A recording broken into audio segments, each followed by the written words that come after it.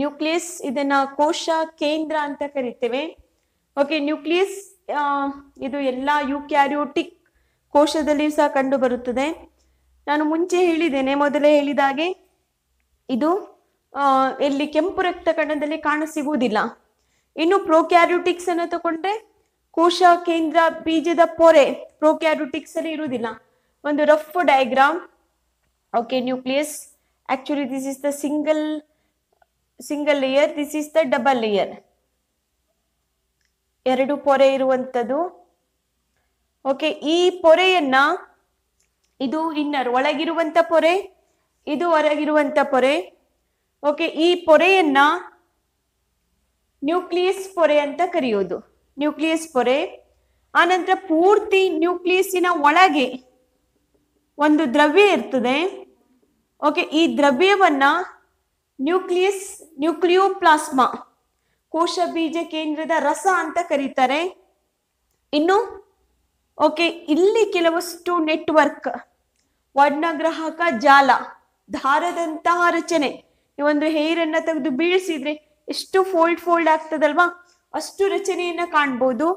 Okay, ಇದನ್ನ ವರ್ಣಗ್ರಾಹಕ ಜಾಲ ಅಥವಾ ಕ್ರೊಮ್ಯಾಟಿನ್ ಥ್ರೆಡ್, ಓಕೆ, ಎನ್ನುತ್ತಾರೆ.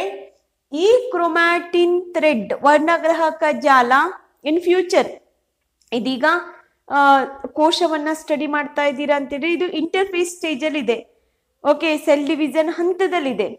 ಮುಂದಿನ ಮುಂದಿನ ಹಂತದಲ್ಲಿ ಇದು, ಓಕೆ, ಈ ಥ್ರೆಡ್ ಇದೆ ಅಲ್ವಾ? ಇದರಲ್ಲಿರುವಂಥ ನೀರೆಲ್ಲ ಒಣಗಿ, ಮುಂದೆ ಇದು, ಓಕೆ, ಡಬಲ್ ಆರ್ಮ್ ಇರುವಂತ, ಎರಡು ರೆಕ್ಕೆ ಇರುವಂತ ಕ್ರೋಮೋಸೋಮ್ ಆಗಿ ಏನಾಗ್ತದೆ? ಕನ್ವರ್ಟ್ ಆಗ್ತದೆ. ಕ್ರೋಮೋಸೋಮ್ ಯಾಕೆ ಇಂಪಾರ್ಟೆಂಟ್ ಅಂತ ಹೇಳಿದ್ರೆ ಅದರಲ್ಲಿ ಎಲ್ಲಾ ಲಕ್ಷಣಗಳಿದೆ. ಒಂದು ಜನರೇಷನ್ ಇಂದ ಮತ್ತೊಂದು ಜನರೇಷನ್ಗೆ ಹೋಗುವಷ್ಟು. ಆನ್ಸಿಸ್ಟರ್ ಟು ಓಕೆ ಆನ್ಸಿಸ್ಟರ್ ಪ್ರಾಚೀನ ಅಂದ್ರೆ ತಾತನಿಂದ ಮೊಮ್ಮಗನಲ್ಲಿ ಅದು ಎಲ್ಲಾ ಕ್ಯಾರೆಕ್ಟರ್ ಜೆನೆಟಿಕ್ ಕ್ಯಾರೆಕ್ಟರ್ ಆನುವಂಶೀಯ ಗುಣಲಕ್ಷಣವನ್ನ ಕೊಂಡೊಯ್ತದೆ ತುಂಬಾ ಇಂಪಾರ್ಟೆಂಟ್ ಅದನ್ನ ಉತ್ಪತ್ತಿ ಮಾಡುವಂತ ಸ್ಥಳ ಯಾವುದು ಅಂತ ಕೇಳಿದ್ರೆ ಈ ನ್ಯೂಕ್ಲಿಯಸ್. ಓಕೆ, ಇಲ್ಲಿ ಕೊಟ್ಟಿದ್ದೇನೆ. ಇದೊಂದು ದುಂಡಾಕಾರದ ಅತಿ ದೊಡ್ಡ ಕಣದ, ಹೌದು. ಅತ್ಯಂತ ದೊಡ್ಡ ಕಣದಂಗ ಇದು. ಆಮೇಲೆ ಇದರಲ್ಲಿ ಎರಡು ಪೊರೆ ಇದೆ. ಆಮೇಲೆ ಪೊರೆ ಮಧ್ಯದಲ್ಲಿ ಗ್ಯಾಪ್ ಇದೆ. ಇದನ್ನ ನ್ಯೂಕ್ಲಿಯರ್ ಪೋರ್ ಅಂತ ಹೇಳ್ತೇವೆ, ರಂಧ್ರ ಅಂತ ಕರಿತೇವೆ ನಾವು.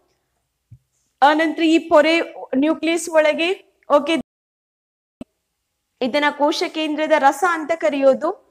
ಆನಂತರ ಇಲ್ಲಿ ದಾರದಂತ ರಚನೆ ಇದೆ. ಅದನ್ನ ವರ್ಣಗ್ರಾಹಕ ಜಾಲ ಅಥವಾ ಕ್ರೊಮ್ಯಾಟಿನ್ ಥ್ರೆಡ್ ಅಂತ ಕರಿತೇವೆ. ಓಕೆ ಇನ್ನೊಂದು ಚಿಕ್ಕ ರಚನೆ ಇದೆ. Okay small round shaped structure okay ಇದನ್ನ ಕಿರುಕೋಶ ಕೇಂದ್ರ ನ್ಯೂಕ್ಲಿಯೋಲಸ್ ಅಂತ ಕರಿತೇವೆ. ಈ ನ್ಯೂಕ್ಲಿಯೋಲಸ್ ಮತ್ತೆ ಈ ನ್ಯೂಕ್ಲಿಯರ್ ಪೊರೆ ಇದೆಯಲ್ವಾ? ಓಕೆ ಕಿರುಕೋಶ ಕೇಂದ್ರ ಮತ್ತೆ ಓಕೆ ಕೋಶ ಕೇಂದ್ರ ಬೀಜದ ಪೊರೆ ಇದೆಯಲ್ವಾ ಇದು? ಪ್ರೋಕ್ಯಾರಿಯೋಟಿಕ್ಸ್ ಅಲ್ಲಿ ಇರುವುದಿಲ್ಲ. ಬ್ಯಾಕ್ಟೀರಿಯಾ, ಸೈನೋಬ್ಯಾಕ್ಟೀರಿಯಾ, ಅದಕ್ಕೆ ಬ್ಯಾಕ್ಟೀರಿಯಾ, ಅವುಗಳೆಲ್ಲ ಕಾಣಸಿಗುವುದಿಲ್ಲ ಖಾಲಿ ಯುಕ್ಯಾರಿಯೋಟಿಕ್ಸ್ ಅಲ್ಲಿ ಮಾತ್ರ ಇಷ್ಟೊಂದು ಬ್ಯೂಟಿಫುಲ್ ರಚನೆಗಳು ಇರ್ತದೆ. ಆಯ್ತಾ? ಇದು ಮೇನ್ ಇಂಪಾರ್ಟೆಂಟ್ ಕ್ರೋಮೋಸೋಮ್ಸ್ ಉತ್ಪತ್ತಿಯಾಗುವಂತ ಸ್ಥಳ. ಮತ್ತೆ ಈ ಕಿರುಕೋಶ ಇದೆಯಲ್ವಾ? ಅಥವಾ ನ್ಯೂಕ್ಲಿಯೋಲಸ್ ಅಂತ ಹೇಳ್ತೇವಲ್ವಾ? ಓಕೆ, ಇಲ್ಲಿ ಏನು ಉತ್ಪತ್ತಿ ಆಗ್ತದೆ ಅಂತ ಕೇಳಿದ್ರೆ ಇಲ್ಲೂ ಸಹ ಆರ್ ಉತ್ಪತ್ತಿ ಆಗ್ತಾ ಇರ್ತದೆ. ಓಕೆ ಇನ್ನು ಸೆಲ್ ಸೈಕಲ್ ಅಂತ ಒಂದು ಸಪ್ರೇಟ್ ಆಗಿ ಚಾಪ್ಟರ್ ಇದೆ. ಅದರಲ್ಲಿ ನಾವು ಓಕೆ ನೆಕ್ಸ್ಟ್ ಇಂಟರ್ಫೇಸ್ ಆದ ನಂತರ prophase anaphase okay telophase sorry prophase metaphase anaphase telophase ಅದ್ರ ಬಗ್ಗೆ ಎಲ್ಲ ಸ್ಟಡಿ ಮಾಡ್ಬೋದು. ನಂತರ, ನಾನು ಈಗಾಗಲೇ ಹೇಳಿದೆ, ಈ ಕ್ರೊಮ್ಯಾಟಿನ್ ಥ್ರೆಡ್ ಮುಂದೆ ಏನಾಗ್ತದೆ?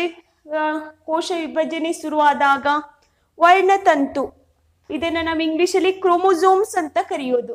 ಒಂದು ಕೋಶದಲ್ಲಿ, ಓಕೆ, ಮನುಷ್ಯನ ಒಂದು ಕೋಶದಲ್ಲಿ ಸಾಧಾರಣ ಟ್ವೆಂಟಿ ತ್ರೀ ಪೇರ್ಸ್ ಓಕೆ ಇಪ್ಪತ್ತ ಮೂರು ಜೊತೆ ಅಂತ ಹೇಳಿದ್ರೆ forty six chromosomes.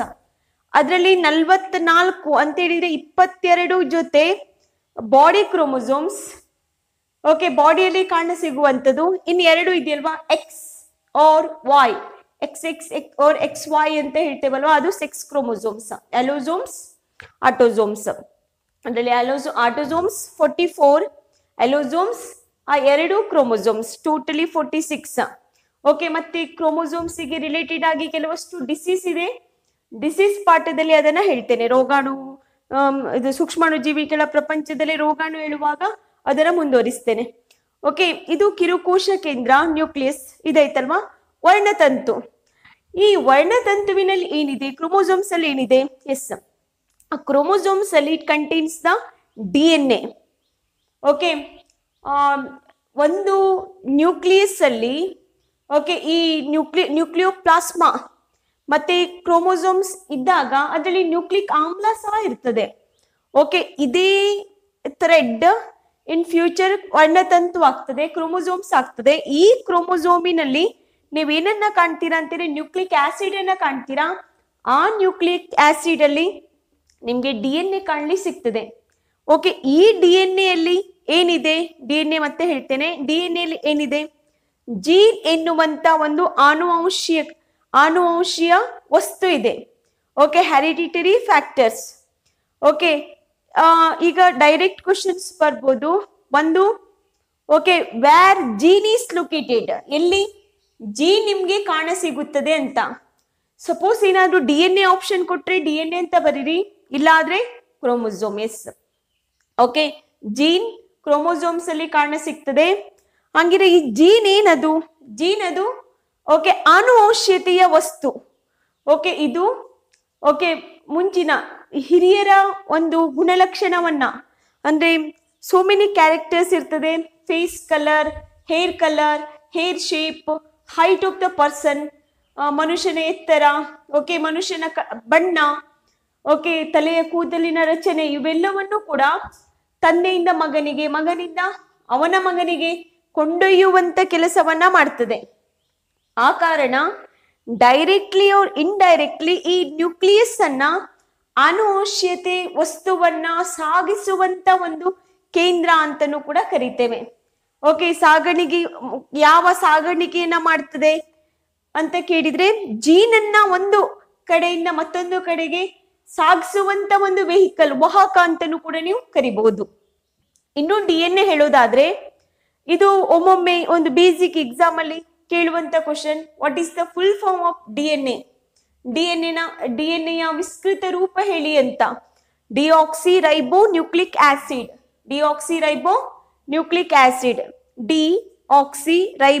deoxyribonucleic acid nucleic acid is the common nucleic ಆಮ್ರ ಯಾವ ನ್ಯೂಕ್ಲಿಕ್ ಆಮ್ಲ? ಡಿಆಕ್ಸಿ ಡಿಆಕ್ಸಿ ರೈಬೋ ನ್ಯೂಕ್ಲಿಕ್ ಆಸಿಡ್ಸ್ ಆಯ್ತಲ್ವಾ? ಇದನ್ನ ಹತ್ತೊಂಬತ್ ನೂರ ಐವತ್ ಮೂರರಲ್ಲಿ ಆಕ್ಚುಲಿ ಇದಕ್ಕಿಂತ ಮುಂಚೆ ನ್ಯೂಕ್ಲಿಯಸ್ ಅನ್ನ ಓಕೆ ತುಂಬಾ ಜನ ಪರ್ಸನ್ಸ್ ಕಂಡುಹಿಡಿದಿದ್ದಾರೆ. ಓಕೆ ಅವೆಲ್ಲ ಇಂಪಾರ್ಟೆಂಟ್ ಅಲ್ಲ ಬಟ್ ನೈನ್ಟೀನ್ ಫಿಫ್ಟಿ ತ್ರೀ ಅಲ್ಲಿ okay this is the person okay James Watson okay Watson and Crick okay Francis Crick ಇವ್ರ ಪೂರ್ತಿ ಹೆಸರು. Okay James Watson and Francis Crick okay ಇವ್ರು ಏನ್ ಮಾಡ್ತಾರೆ ಅಂತ ಹೇಳಿದ್ರೆ, ಇದಕ್ಕಿಂತ ಮುಂಚೆ ನಮ್ಗೆ ಡಿ ಎನ್ ಎ ಯಾವ ರೀತಿ ಶೇಪ್ ಅಲ್ಲಿ ಇದೆ ಡಿ ಎನ್ ಎ ಒಳಗೇನಿದೆ, ಒಂದು ಡಿ ಎನ್ ಎಲ್ಲಿ ಎಷ್ಟು ಚಿ ಸಾರಿ ಜೀನ್ ಇರ್ಬೋದು, ಇವನ್ನೆಲ್ಲ ಗೊತ್ತಿರ್ಲಿಲ್ಲ. ಓಕೆ ಇವರು ಒಂದು ಮಾಡೆಲ್ ಅನ್ನ ಕೊಡ್ತಾರೆ ಡಿ ಎನ್ ಎ ಯಾವ ರೀತಿ ಇದೆ ಅಂತ. ನಾವು ನೋಡಿದ್ದೇವೆ, ಇದನ್ನ ಡಬಲ್ ಹೆಲಿಕಲ್ ಸ್ಟ್ರಕ್ಚರ್ ಅಂತ ಹೇಳ್ತೇವೆ ನಾವು, ಈ ತರ ಡಬಲ್ ಹೆಲಿಕಲ್ ಸ್ಟ್ರಕ್ಚರ್ ಅಲ್ವಾ? ಎರಡು ಏನು, ಸರಪಳಿ, ಎರಡು ಸರಪಳಿ ಒಂದಕ್ಕೊಂದು ಬಂಧಿಸ್ಕೊಂಡಿದೆ.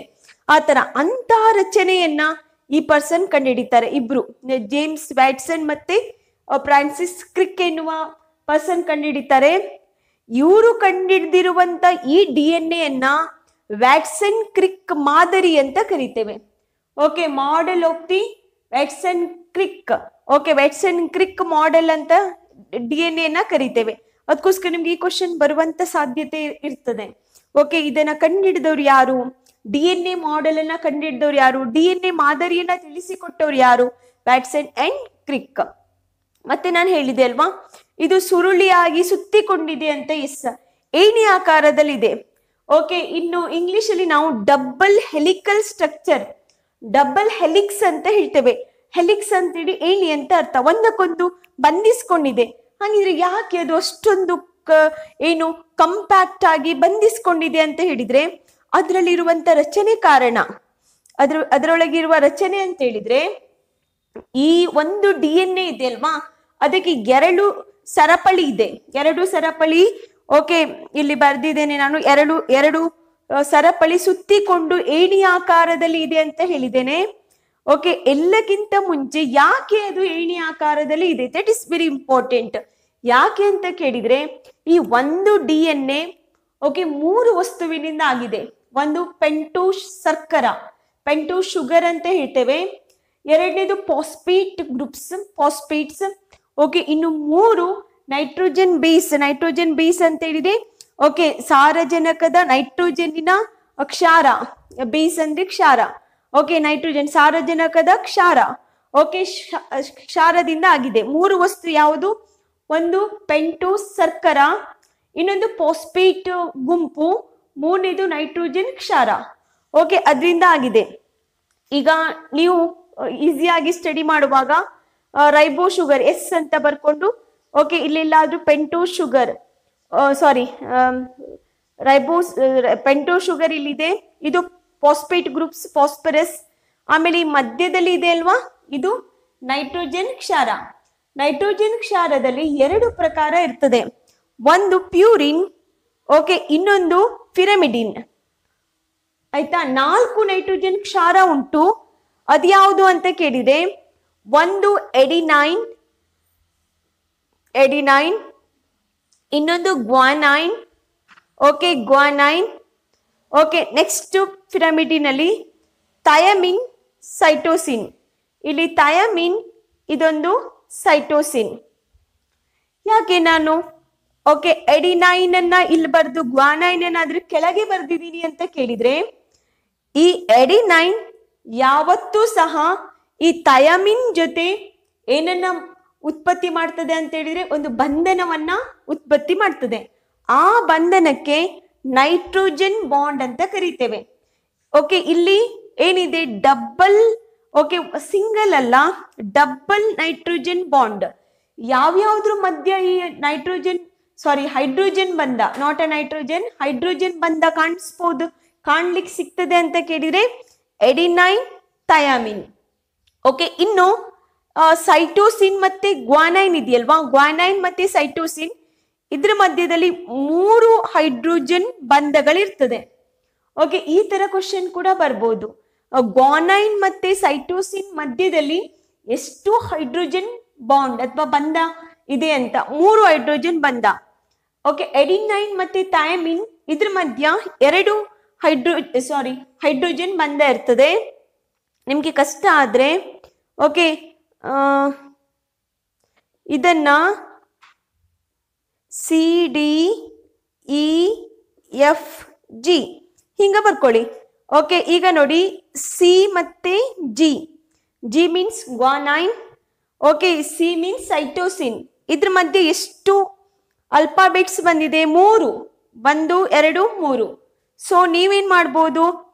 ಗ್ವಾನೈನ್ ಮತ್ತೆ ಸೈಟೋಸಿನ್ ಮಧ್ಯದಲ್ಲಿ ಮೂರು ಹೈಡ್ರೋಜನ್ ಬಾಂಡ್ ಅಂತ ಹೇಳ್ಕೊಂಡು ನೆನ್ಪಿಟ್ಕೋಬಹುದು ಎಲ್ಲಾದ್ರೂ ಸ್ವಲ್ಪ ಕ್ವಶನ್ ಅನ್ನ ಕೇಳಿದ್ರೆ ಇದನ್ನ. ಆಯ್ತಾ? ಸೊ ಈ ಕಾರಣ, ಈ ಹೈಡ್ರೋಜನ್ ಬಂಧದ ಕಾರಣ ಇದು ಯಾವತ್ತೂ ಸಹ ಒಂದನ್ನೊಂದು ಏನಾಗಲ್ಲ ಅಂತೇಳಿ ಬಿಟ್ಟು ದೂರ ಹೋಗಲ್ಲ. ಚಾರ್ಕೋಪ್ಸ್ ರೂಲ್ಸ್ ಅಲ್ಲಿ ಇದು ಬರ್ತದೆ. ಓಕೆ ಇಷ್ಟೊಂದು ಕಠಿಣವಾಗಿ ಇದನ್ನ bond ಮಾಡ್ಕೊಂಡಿರ್ತದೆ. Even D N A fingerprints ಅಲ್ಲಿ ನಾವು ಈ ಬಾಂಡ್ ಅನ್ನ ಬ್ರೇಕ್ ಮಾಡಿಬಿಟ್ಟು ಅಪರಾಧಿಯನ್ನ ಫೈಂಡ್ ಔಟ್ ಮಾಡ್ತೇವೆ. ಇದೇ ಒಂದು ಕ್ಯಾರೆಕ್ಟರಿಸ್ಟಿಕ್ ಫೀಚರ್ಸ್ ಮೇಲೆ. ಆದ ಕಾರಣ ಇದು ಸ್ವಲ್ಪ ಇಂಪಾರ್ಟೆಂಟ್ ಇಷ್ಟು ಅರ್ಥ ಆಯ್ತು ಅಂತ ಅನ್ಕೊಂತೇನೆ.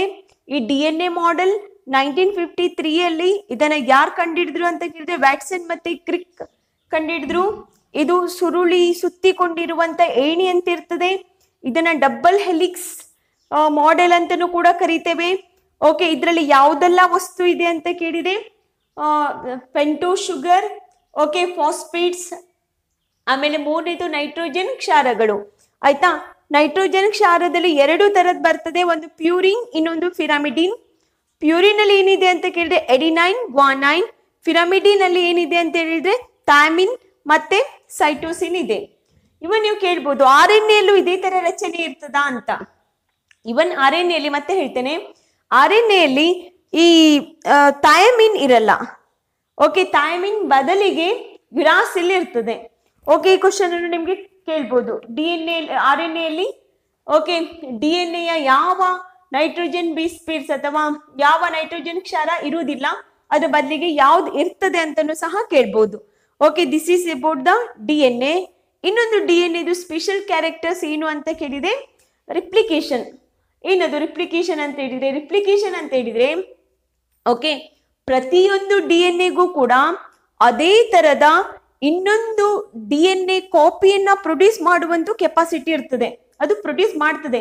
D N A it produces the D N A it produces the another D N A copy okay ಇದನ್ನ ನಾವು ಟ್ರಾನ್ಸ್ಕ್ರಿಪ್ಷನ್ ಅಂತ ಹೇಳ್ತೇವೆ. But in case the okay H I ವಿಯಲ್ಲಿ ನೀವು ನೋಡ್ಬೋದು. ಓಕೆ ಈ ರಿಟ್ರೋ ವೈರಸ್ ಏನ್ ಮಾಡ್ತದೆ? ಅದು ಇಟ್ ಸ್ವಲ್ಪ ಆರ್ ಎನ್ ಎ ಆಗಿ ಕೂಡ ಓಕೆ ಏನ್ ಮಾಡ್ತದೆ ಅಂತ ಕೇಳಿದ್ರೆ ಒಂದು ಡಿ ಎನ್ ಎನ ಉತ್ಪತ್ತಿ ಮಾಡ್ತದೆ. ಅದಕ್ಕೆ ನಾವು ರಿವರ್ಸ್ ಟ್ರಾನ್ಸ್ಕ್ರಿಪ್ಷನ್ ಅಂತ ಹೇಳ್ತೇವೆ. ಸೊ ಲೆಟ್ ಇಟ್ ಬಿ ಈ ಡಿ ಎನ್ ಎಗೆ ಎಂತ ಗುಣ ಇದೆ ಅಂತೇಳಿ ತನ್ನ ತನ್ನ ತರದಿರುವಂತಹ ಓಕೆ ಇನ್ನೊಂದು, ಎರಡು ಪ್ರತಿರೂಪಗಳನ್ನ ಏನ್ ಮಾಡ್ತದೆ? ಎರಡು ಪ್ರತಿರೂಪ ಅಂತ ಹೇಳಿದ್ರೆ ಒಂದು ಪೇರ್, ಒಂದು ಸ್ಟ್ಯಾಂಡ್ ಮತ್ತೊಂದು ಸ್ಟ್ಯಾಂಡ್. ಓಕೆ ಎರಡು ಪ್ರತಿರೂಪಗಳನ್ನ ಉತ್ಪತ್ತಿ ಮಾಡುವಂತಹ ಕ್ಯಾರೆಕ್ಟರ್ಸ್ ಕೂಡ ಇದೆ.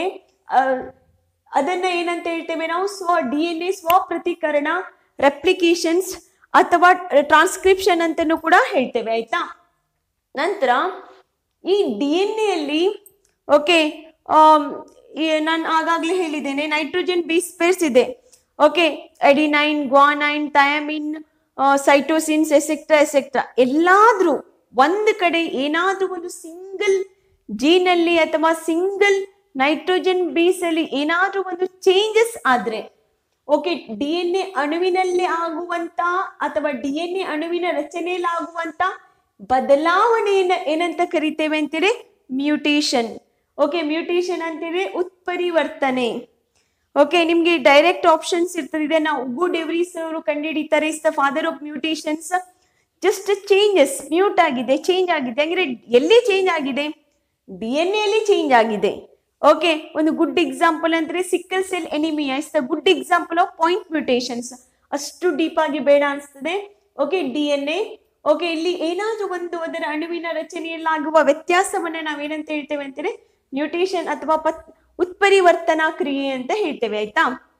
ನಂತರ ಇಷ್ಟು ಅರ್ಥ ಆಗಿದೆ ಅನ್ಕೊಂತೇನೆ R N A so R N A is the full form ribonucleic ಆಮ್ಲ ರೈಬೋ ನ್ಯೂಕ್ಲಿಕ್ ಆಸಿಡ್ ನೀವು ಕೇಳ್ಬೋದು, ಇದರಲ್ಲಿ ಕೂಡ ಡಬಲ್ ಸ್ಟ್ಯಾಂಡ್ ಇರ್ತದಾ? ಇಲ್ಲ.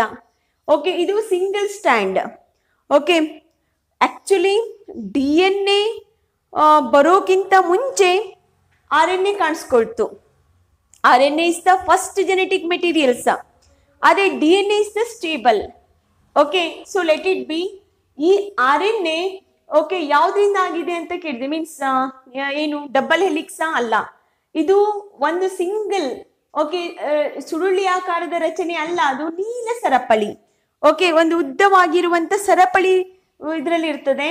ಆನಂತರ ಇದು ಕೂಡ ಸೇಮ್ ಏನು? ಫಾಸ್ಫೇಟ್ ಓಕೆ ರೈಬೋ ಶುಗರ್ ಆನಂತರ ನೈಟ್ರೋಜನ್ ಕ್ಷಾರ. ಇದು ಮೂರರಿಂದ ಆಗಿದೆ. ಇಲ್ಲಿ ಆಗಿದ್ರೆ ನೈಟ್ರೋಜನ್ ಕ್ಷಾರ ಯಾವುದು ಅಂತ ಕೇಳಿದ್ರೆ adenine guanine cytosine uracil okay ಹಂಗಿದ್ರೆ adenine guanine okay adenine guanine ಎರಡೂ ಕೂಡ ಯಾವ್ದ್ರಲ್ಲಿ ಬರ್ತದೆ ಅಂತ ಕೇಳಿದ್ರೆ ಫ್ಯೂರಿನ್ ಆನಂತರ ಸಾರಿ ಸೈಟೋಸಿನ್ ಮತ್ತೆ ಯುರಾಸಿಲ್ ಯಾವ್ದ್ರಲ್ಲಿ ಬರ್ತದೆ ಅಂತ ಕೇಳಿದ್ರೆ ಪಿರಮಿಡಿನ್ ಓಕೆ ಸೈಟೋಸಿನ್ ಯುರ ಯುರಾಸಿಲ್ ಇದು ಪಿರಮಿಡಿನ್ ಮಿಟಿನ್ ಇದು ಪ್ಯೂರಿನ್ ಅಂಡರ್ ಅಲ್ಲಿ ಬರ್ತದೆ. ಓಕೆ ಇಲ್ಲಿ ನಿಮ್ಗೆ ಏನ್ ಚೇಂಜಸ್ ಕಾಣಿಸ್ತು ಅಂತ ಕೇಳಿದ್ರೆ ಇದು ಯುರಾಸಿಲ್ ಈ ಯುರಾಸಿಲ್ ಓಕೆ ಕೇವಲ ಆರ್ ಎನ್ ಎಲ್ಲಿ ಮಾತ್ರ ಕಾಣಿಸ್ಕೊಳ್ತದೆ not a D N A okay ಅದೇ ತರ ಈ ಥಯಾಮಿನ್ ಡಿ ಎನ್ ಎಲ್ಲಿ ಮಾತ್ರ ಕಾಣಿಸ್ಕೊಳ್ತದೆ not a R N A this is the difference between the R N A and D N A okay ಇನ್ನು types of the R N A ಈ R N A ಕೆಲಸ ಏನು ಅಂತ ಕೇಳಿದ್ರೆ, ಇದು protein synthesis ಅಂತ ಹೇಳಿದ್ರೆ ಟ್ರಾನ್ಸ್ಲೋಕೇಶನ್ ಅಂತ ಹೇಳ್ತೇವೆ. ಓಕೆ ಟ್ರಾನ್ಸ್ಲೋಕೇಶನ್ ಅಥವಾ protein synthesis protein synthesis, protein ಉತ್ಪತ್ತಿಯಲ್ಲಿ ಏನ್ ಮಾಡ್ತದೆ ಅಂತೇಳಿ ಮೇನ್ ಪಾತ್ರ ವಹಿಸ್ತದೆ. ಆ ಮೇನ್ ಪಾತ್ರ ವಹಿಸ್ಲಿಕ್ಕೆ ಈ ಏನು ಟೈಪ್ಸ್ ಇದಾವಲ್ವಾ? ವಿಧಗಳಿದಾವಲ್ವಾ?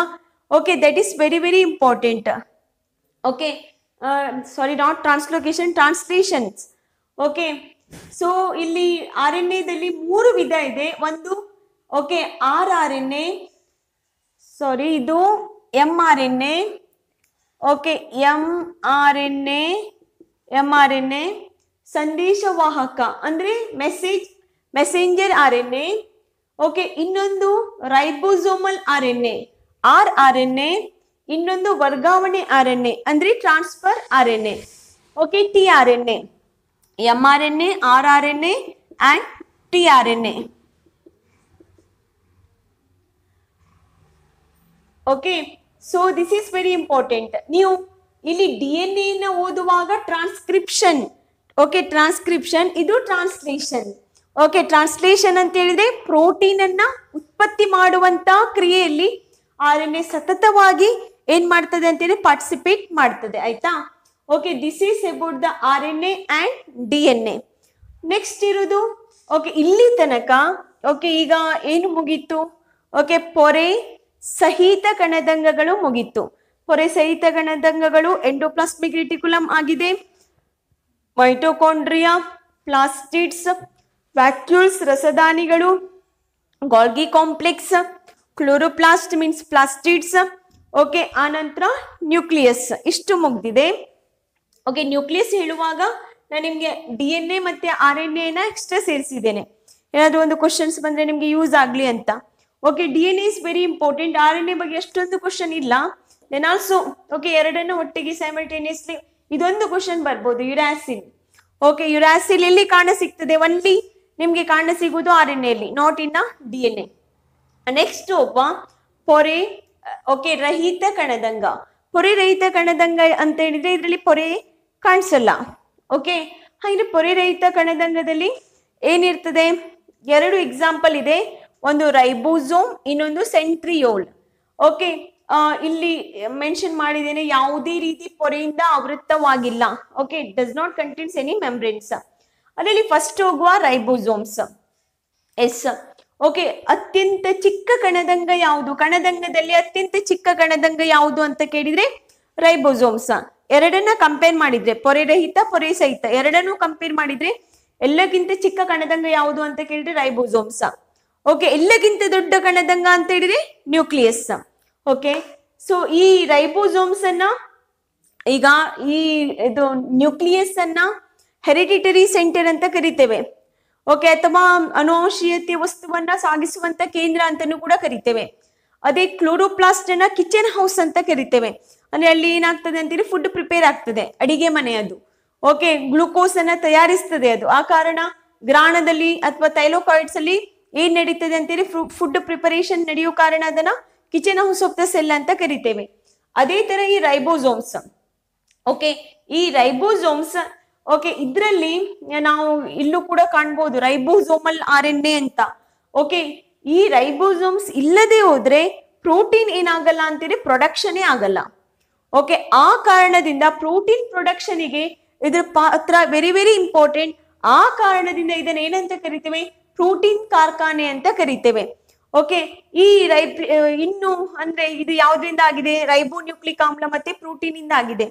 Okay so let it be ಇನ್ನು ಹೇಳೋದಾದ್ರೆ ಈ ರೈಬೋಸೋಮ್ಸ್ ಯಾವ್ದ್ರಲ್ಲೆಲ್ಲ ಇರ್ತದೆ? ದಟ್ ಇಸ್ ವೆರಿ ಇಂಪಾರ್ಟೆಂಟ್ ನಿಮ್ ಕ್ವಶನ್ ಅಲ್ಲಿ ಕೇಳ್ಬೋದು, ರೈಬೋಸೋಮ್ಸ್ ಓಕೆ ಬ್ಯಾಕ್ಟೀರಿಯಾದಲ್ಲಿ ಇದೆಯಾ? ಇಲ್ಲ ಪ್ರೋಕ್ಯಾರಿಯೋಟಿಕ್ಸ್ ಅಲ್ಲಿ ಇದೆಯಾ ಓಕೆ ಯುಕ್ಯಾರಿಯೋಟಿಕ್ಸ್ ಅಲ್ಲಿ ಇದೆಯಾ ಎಸ್ ಓಕೆ ಇದು ಬೇರೆಲ್ಲ ಕಣದಂಗಗಳು, ಅಂದ್ರೆ ಪ್ರೋಕ್ಯಾರಿಯೋಟಿಕ್ಸ್ ಅಲ್ಲಿ ಈ ಈ ಕಣದಂಗಗಳಿಲ್ಲ.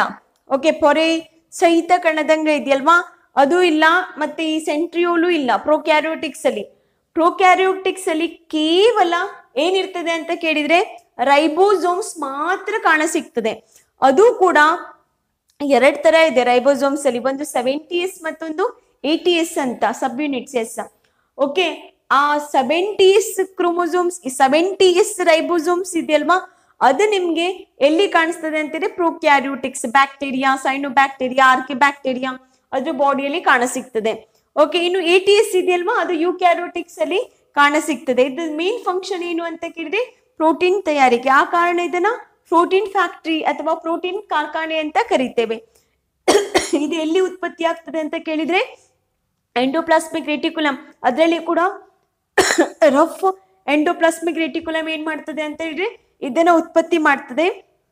ಇವನ್ ಇದು ಕಿರುಕೋಶ ಸಾರಿ ಕಿರುಕೋಶ ಕೇಂದ್ರ ಕೂಡ ಇದನ್ನ ಉತ್ಪತ್ತಿ ಮಾಡ್ತದೆ ರೈಬೋಸೋಮ್ಸ್ ಅನ್ನ ಉತ್ಪತ್ತಿ ಮಾಡ್ತದೆ. ನೆಕ್ಸ್ಟ್ ಲಾಸ್ಟ್ ಒನ್ ಪೊರೆರಹಿತ ಕಣದಂಗದಲ್ಲಿ ಸೆಂಟ್ರಿಯೋಲ್ ಅಲ್ವಾ? ಸೆಂಟ್ರಿಯೋಲ್ ನಾನು ಆಗ್ಲೇ ಹೇಳಿದ್ದೇನೆ ಸೆಂಟ್ರಿಯೋಲ್ ಇದು ಕೇವಲ ಪ್ರಾಣಿಯಲ್ಲಿ ಮಾತ್ರ ಕಾಣ್ತದೆ, ಅದನ್ನ ಬಿಟ್ಟು ಎಲ್ಲೆಲ್ಲಿ ಕಾಣಿಸ್ಕೊಳ್ತದೆ ಅಂತ ಕೇಳಿದೆ. ಶೈವಲ ಅಂದ್ರೆ ಆಲ್ಗೆ, ಶಿಲೀಂಧ್ರ ಮೀನ್ಸ್ ಫಂಗಸ್ ಓಕೆ ಮತ್ತೆ ಪ್ರಾಣಿ. ಇದು ಯಾವುದೇ ಕಾರಣಕ್ಕೂ ಕೂಡ ನಿಮ್ಗೆ ಸಸ್ಯದಲ್ಲಿ ಕಾಣ ಸಿಕ್ಕಲ್ಲ. ಆಯ್ತಾ? ಇದು ಕೂಡ ಸಣ್ಣ ಕಣದಂಗ ಮೀನ್ಸ್ ನ್ಯೂಕ್ಲಿಯಸ್ ಸಮೀಪದಲ್ಲಿ ಕಂಡು ಬರುವ ಸಣ್ಣ ಕಣದಂಗ ಮೀನ್ಸ್ ಓಕೆ ಇದರಷ್ಟೇ ಸ್ವಲ್ಪ ಸಣ್ಣ ಸಣ್ಣ ಗಾತ್ರದಲ್ಲಿದೆ. ಓಕೆ ಇದನ್ನ Van Beneden, Beneden okay Beneden okay ಎನ್ನುವಂತ ಪರ್ಸನ್ ಏನ್ ಮಾಡ್ತಾರೆ ಅಂತೇಳಿ ಕಂಡಿಡಿತಾರೆ ಇದು ನಾರ್ಮಲಿ ಟ್ರಾನ್ಸ್ಪರೆಂಟ್ ಓಕೆ ಆಕ್ಚುಲಿ ಇದು centriole okay centriole in future that converted into centrosomes okay centrosomes ಆಗಿ ಕನ್ವರ್ಟ್ ಆಗ್ತದೆ ಅದು. ಅದ್ರ ಬಗ್ಗೆ ಜಾಸ್ತಿ ಏನು ಬೇಡ. ಸೆಂಟ್ರಿಯೋಲ್ ಎಲ್ಲಿ ಕಾಣ್ತದೆ?